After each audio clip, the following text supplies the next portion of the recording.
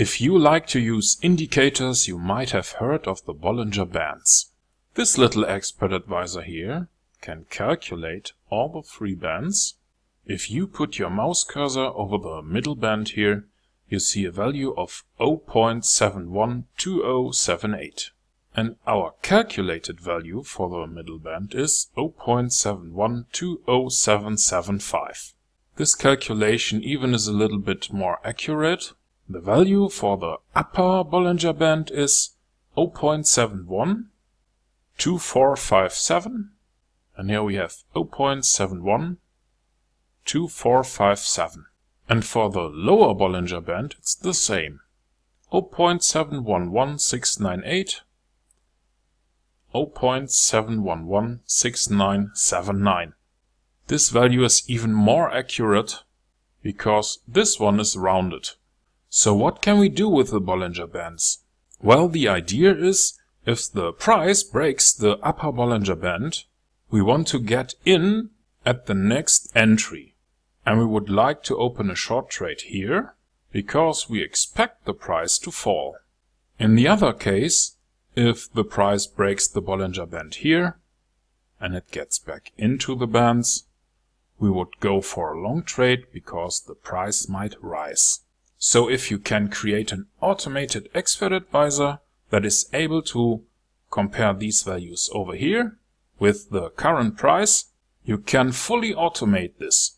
Your computer can trade the Bollinger Bands automatically and you don't have to sit in front of your screen all the time. So let's create a little expert advisor. To do that, please hit the F4 key or click this little button over here. And that will open the MetaEditor. Here we click on New, Expert Advisor from Template. Continue.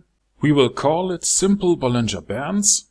Click on Continue, Continue, Finish. Remove everything above the onTick function. Remove the commands. And the first thing we need is an array for each of the Bollinger Bands. One, two, three times a double array. Now we need to sort our three arrays to hold prices from the current candle downwards. And we do that with the function ArraySetAsSeries. In the next step, we need to define the Bollinger Bands. We want our expert advisor to use the current chart for the current time period used on the chart. It should calculate the Bollinger Bands for 20 candles without any shift and with a standard deviation of 2. That all should be calculated for the close price of the candle. Afterwards we need to copy the price information into the three arrays and now it's time to calculate the actual value for the current candle and to store it in a variable for each of the three bands. That's it for the calculation. Now we want to output our calculated values on the chart. We do that with the Comment function and it will output the name of the variable and the value we have calculated in this block. Okay, let's compile the code. We have no errors and no warnings. So let's click the little button over here or hit the F4 key to bring up the MetaTrader. To make the Bollinger Bands visible on the screen we will use a little trick. Please click on Insert, Indicators, Bollinger Bands, select a period of 20 candles with a shift value of 0 and a deviation value of 2. We want to apply all this to the close price of the candles and now you can pick a color and a style for the line. I prefer these thicker lines.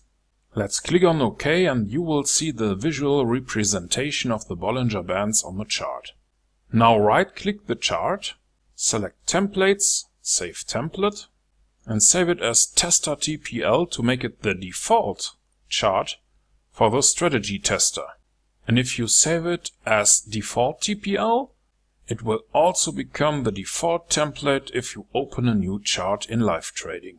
So let's bring up the strategy tester by clicking on view strategy tester or hitting the control and the R key and select the simple Bollinger Bands .ex5 file. Make sure to enable visualization here and start the test. And this is what you should see now. Let's stop it here and check the values. This is 0.706251, 0.7062505. That's okay.